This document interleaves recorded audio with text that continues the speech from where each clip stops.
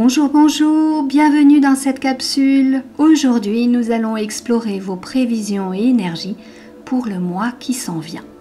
Alors, comme je vous le rappelle régulièrement, il s'agit de généralités concernant votre signe. Vous pouvez d'ailleurs consulter pour plus de précision les vidéos de votre ascendant ainsi que celles de votre signe lunaire.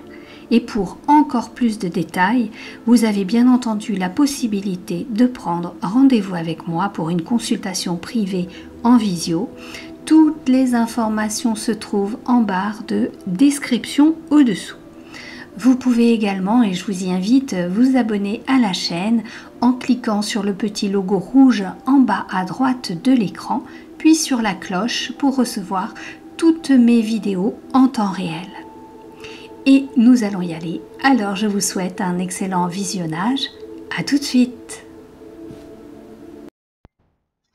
Bien le bonjour les scorpions. Voilà, voilà, on est arrivé à votre signe. Je suis en train de faire tomber toutes mes cartes. Donc, nous allons explorer les énergies vous concernant scorpion, ascendant scorpion, signe lunaire scorpion pour ce mois d'août 2021. J'espère que vous avez passé un excellent mois de juillet malgré les remous ambiants. Et on va voir un petit peu ce qu'il en est pour ce mois d'août, si on est sur les mêmes montagnes russes, les ascenseurs émotionnels. Allez, deux cartes avec la sagesse de l'oracle. Je pense que je vais devoir faire comme je fais depuis le début, à savoir une carte dessus, une carte dessous, parce qu'elle ne saute pas. Et comme je n'ai pas envie de faire traîner la vidéo avec un mélange de cartes, allez, on y va. Une dessus et une dessous. Alors, on les découvre ensemble. Co-création et pouvoir supérieur. On est vraiment là dans j'ai envie de dire, euh, la loi, la loi d'attraction, le pouvoir de l'intention, la résonance entre ce que vous souhaitez et ce qui va se matérialiser dans votre existence, dans votre réalité. Alors ce que l'on vous dit là, c'est qu'il va falloir euh, faire preuve de sagesse et ne pas demander n'importe quoi. Euh, lorsque l'on veut attirer quelque chose dans son quotidien, il faut conserver au cœur de soi la foi, la foi puissante que ce que l'on souhaite va se réaliser. Pour envoyer les bonnes choses à l'univers, il va falloir bien déterminer vos objectifs, affiner votre demande et faire en sorte que cette demande soit sage, qu'elle corresponde parfaitement à votre âme et que ce soit quelque chose de bienveillant pour vous et pour votre entourage. On dit que ça doit être écologique, c'est-à-dire que vous n'allez pas empiéter sur les plates-bandes de quelqu'un d'autre en, en demandant que votre vœu se réalise. Il ne doit pas faire de l'ombre aux autres, il ne doit pas euh, provoquer de manque chez eux, il ne doit pas les blesser. Il faut que ce soit vraiment quelque chose de bienveillant, donc écologique. On vous dit également qu'il va falloir bien ressentir le lien entre votre âme et la conscience supérieure, celle qui vous relie à la source. On vous dit aussi qu'il va falloir prendre du temps, ne pas être impatient. Toute gestation, puisqu'on est dans de la co-création, toute gestation a besoin d'un certain temps pour que votre désir vienne prendre vie dans le réel, eh bien, il va falloir s'en occuper, il va falloir le bichonner et il va falloir être, comment dire, humble aussi, ne pas vouloir un, château en Espagne quand une maisonnette vous suffirait et euh, suffirait à vous combler de bonheur. Euh, qu'est-ce qu'on me dit encore? Cette co-création, on vous demande aussi euh, non seulement d'être en lien avec la conscience supérieure, avec les plans invisibles, mais d'être aussi en lien avec votre entourage, avec l'humanité aussi. Et comprendre que tout ce que vous faites, vous le réalisez pour le bien commun, le bien de tous aussi. Puisque, je vous le rappelle, nous sommes un, mais nous sommes aussi tout. Je le dis souvent en consultation, nous sommes comme la goutte d'eau qui crée la vague de l'océan, voire qui crée l'océan lui-même.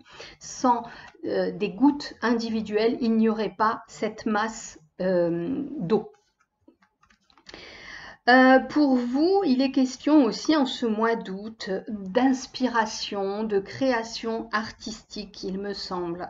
Il y a quelque chose qui vous demande de vous élever, de vous connecter à plus grand que vous-même pour pouvoir être dans la réalisation de choses euh, qui sont plus élevées que d'habitude. On vous demande d'élever vos objectifs, non pas de les rendre plus difficiles, mais de les rendre plus, euh, euh, comment dire, plus haut en valeur, à savoir euh, viser quelque chose qui soit de l'ordre de la solidarité, de la gratitude, de...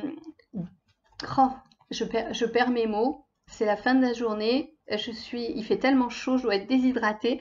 Bref, il faut que vous mettiez dans vos souhaits des valeurs hautes.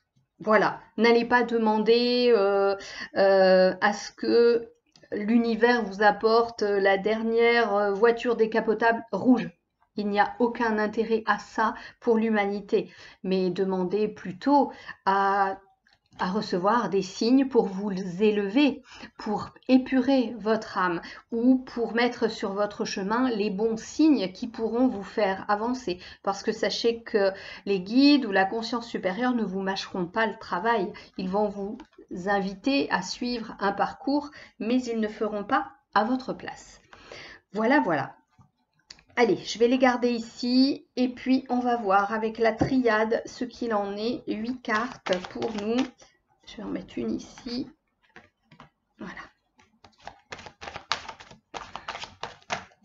Il y a beaucoup de mystères sur ce, sur ce mois d'août pour vous les scorpions, comme si vous étiez là en train de découvrir quelque chose que vous n'aviez pas encore découvert. Vous mettez le doigt peut-être sur, euh, comme si vous découvriez le code secret d'un coffre-fort. Et dans ce coffre-fort, oh là là, dans ce coffre-fort, il y a ce que vous cherchiez depuis fort longtemps. Peut-être un plan, un plan pour vous servir de d'un nouveau pouvoir, une baguette magique. Il y a quelque chose qui va vous permettre de faire un bond en avant.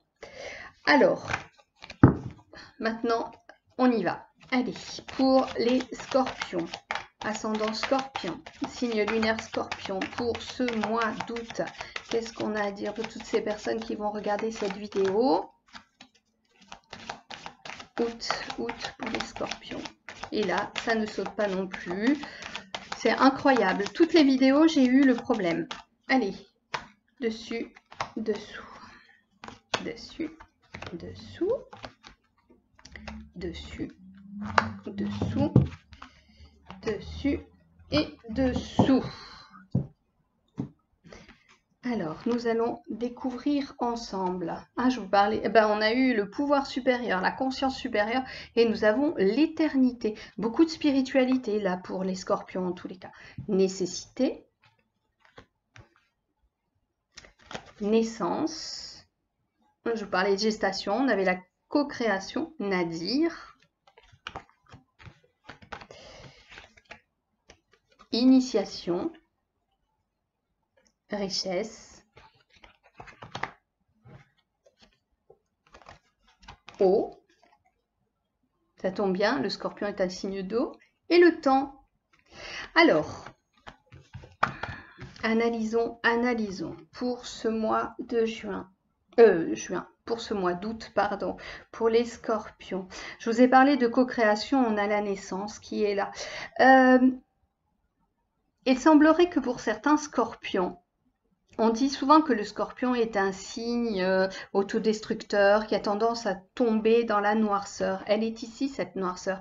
Mais de cette noirceur, chez le scorpion, euh, germent souvent des éclairs de génie. Le scorpion a besoin de cette introspection, il a besoin de tomber très bas pour remonter très haut. Et nous avons justement cette poussée vers le ciel avec cette colonne qui se dirige vers les cieux. Euh, vous avez besoin, scorpion, en ce mois d'août, d'aller creuser au fond de vous. Comme si, euh, d'ailleurs, vous alliez tester de nouvelles techniques ésotériques, mystiques, magiques. Comme si vous veniez de découvrir euh, des secrets alchimiques, on dirait. Et euh, pour certains, c'est une porte ouverte vers l'abondance. Alors pas forcément financière, mais une abondance de cadeaux. Des cadeaux à savoir que en poussant une porte, je vous parlais du coffre-fort tout à l'heure, eh bien vous allez découvrir une multitude de petites choses qui vont enjoliver votre existence. Alors, vous en avez bien bavé pendant un certain temps, semble-t-il.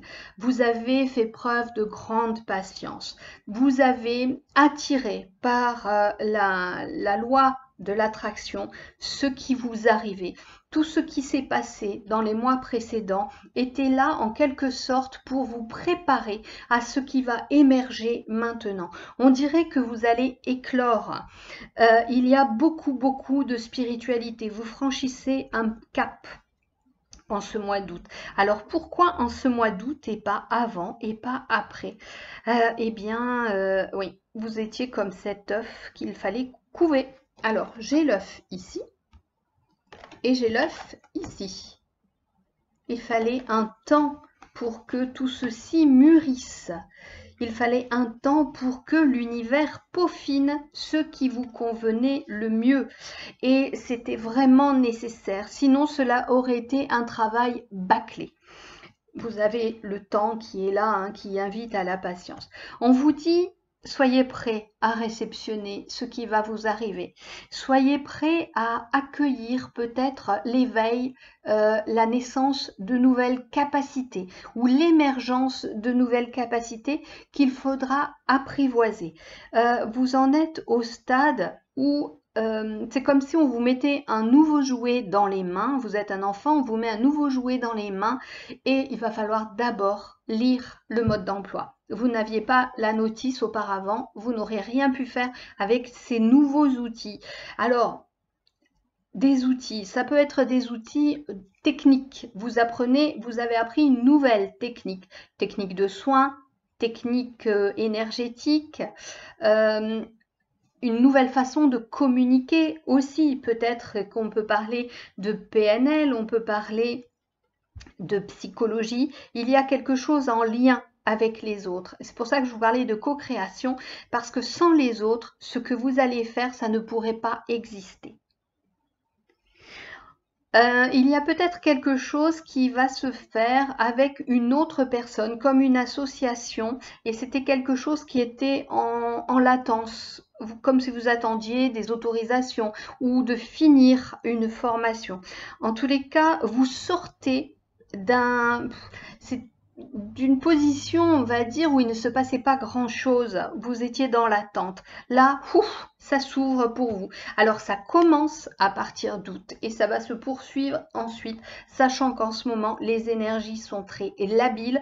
Il y a beaucoup de choses qui bougent et qui bougent, mais à la vitesse grand V. Maintenez le cap, en tous les cas, les scorpions. Croyez en vos objectifs, croyez en vos projets. Soyez vraiment dans la sensibilité, dans la perception. Soyez vraiment comme tous les signes d'eau, très, euh, très intuitifs. On vous demande de vous connecter vraiment à, votre pouvoir supérieur, à cette conscience supérieure qui sait bien entendu euh, quel est votre chemin d'existence. Elle le connaît, mais c'est à vous de conduire votre véhicule et de choisir d'aller tout droit ou de prendre des chemins de traverse avec votre véhicule. De toute façon, chaque chemin sera un apprentissage. Vous avez tout le temps pour apprendre. Vous savez que nous sommes immortels en tant qu'âme, donc ce que vous ne ferez pas dans cette existence, vous le ferez dans une autre. En tous les cas, là vous s'ouvre à vous un espace d'éveil, un espace d'apprentissage, d'initiation, comme si vous vous engagiez sur un nouveau pan de votre vie qui soit plus initiatique et spirituel. On, on passe sur une autre dimension, on dirait c'est un cap nécessaire. Vous êtes en pleine progression et vous ne pourrez pas euh, décider de rebrousser chemin, même si cela vous fait peur. On va voir euh, au, niveau, au niveau sentimental ce qu'il en est pour les scorpions. Est-ce que j'ai d'autres choses à vous dire? Il y a eu une période peut-être où c'était un peu compliqué financièrement. Tout ceci va s'arrêter petit à petit. Ça va reprendre euh, un rythme, un, rythme qui va vous convenir. Encore une fois, je vous dis, patience, ne soyez pas trop gourmand, ça se place dans l'univers, donc ça va venir prendre naissance dans votre quotidien.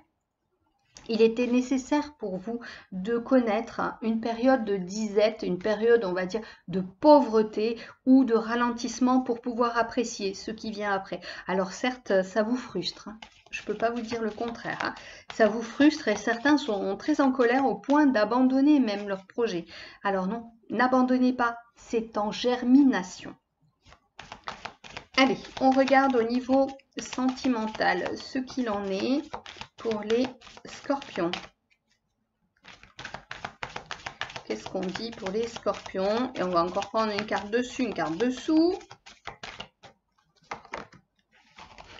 Je parlais de temps, on a la durée là aussi. Allez, une autre. Ah, j'en ai quand même une qui s'est retournée. La tendresse. Alors, pour les scorpions en couple, pour les scorpions en couple, ceux qui sont en couple depuis un certain temps, vous pouvez ressentir un désamour, dans votre couple. Seulement voilà, il y a quelque chose que vous ne pourrez pas enlever, même s'il n'y a plus l'amour-passion, il y a une tendresse qui subsiste. Et ceci est bien plus, euh, comment dirais-je, stable qu'un amour-passion qui peut s'effilocher très vite. Euh, la tendresse, c'est un peu comme deux amis qui connaissent tout l'un de l'autre et qui sont capables de s'apporter un soutien, de s'apporter un câlin, de d'être là, présent l'un pour l'autre. On vous dit pour euh, pas mal de scorpions, la rencontre que vous avez faite et le couple qui est formé avec cette autre personne, c'est une rencontre d'âmes, euh, comme si vous étiez deux âmes issues de la même famille d'âmes, vous vous suivez de vie en vie. Et ce couple que vous avez créé là, vous êtes encore dans une co-création d'âme. Euh, c'est quelque chose qui a été voulu, voulu par euh, le divin, la source, les guides, vous les appelez comme vous voulez, parce que ça vous permettait d'avancer et de vous tirer l'un et l'autre. Il y en avait un qui avançait, qui tendait la main à l'autre pour le faire avancer, et ainsi de suite, pour progresser ensemble. Qu'est-ce qu'on vous dit encore pour les couples? Ce qui se passe dans votre couple, c'est un peu comme ça aussi, comme votre euh, vie en général. Vous avez l'impression parfois qu'il ne se passe rien et puis d'un coup, ça accélère et vous avez l'impression d'être sur une phase ascendante où de nouveau, il y a la passion, il y a les ébats, il y a un peu plus de piment et parfois, bah, c'est très calme. C'est normal aussi parce que vous avez besoin d'un temps de pause pour justement euh, mûrir, apprendre, intégré. Pour les célibataires, pour les célibataires, vous êtes en manque. vous êtes en manque, je rigole, mais c'est parce que j'ai dit ça, quoi.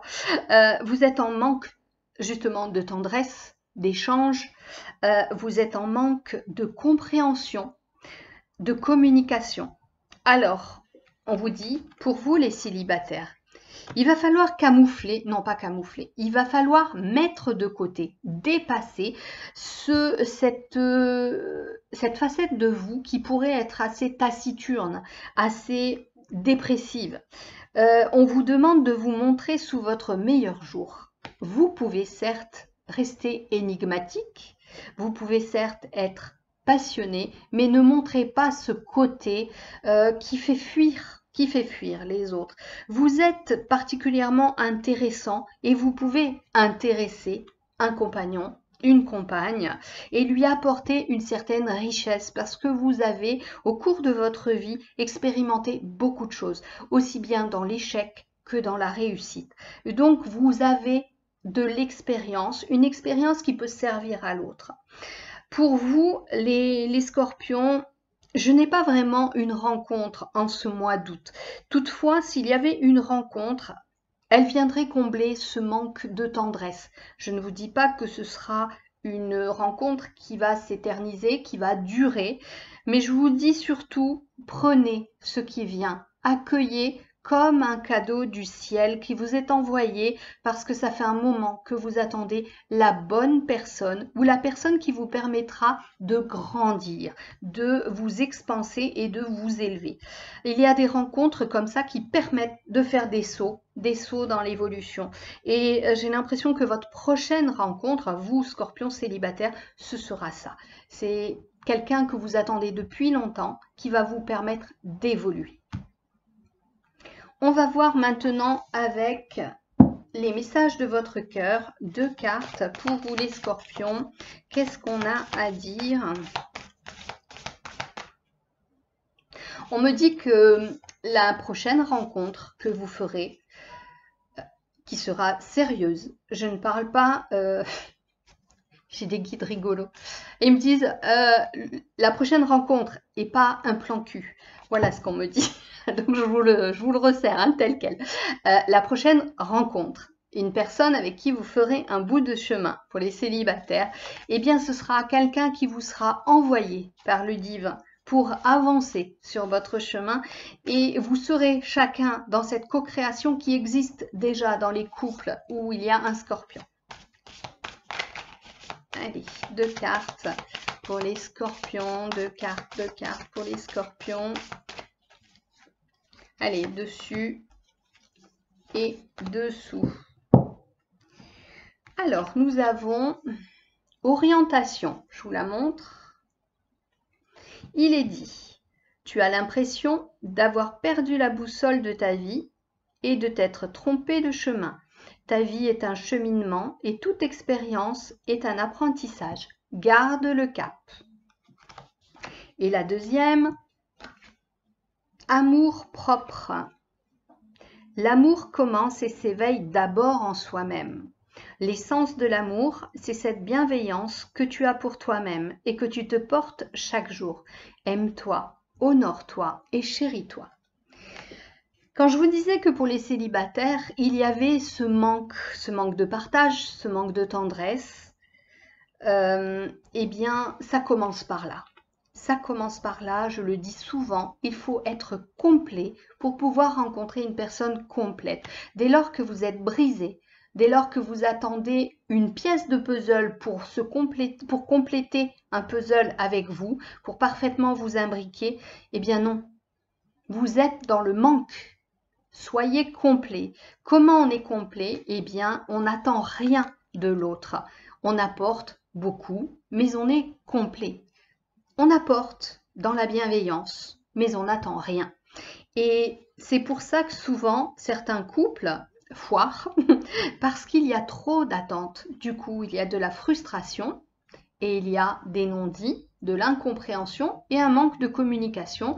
On en veut à l'autre de ne pas exaucer nos souhaits, mais chacun est différent. Rappelez-vous, euh, là, on vous dit que vous avez perdu votre boussole. C'est ce que je vous disais quand j'exprimais le fait qu'il ne se passait rien, euh, que tout était au ralenti.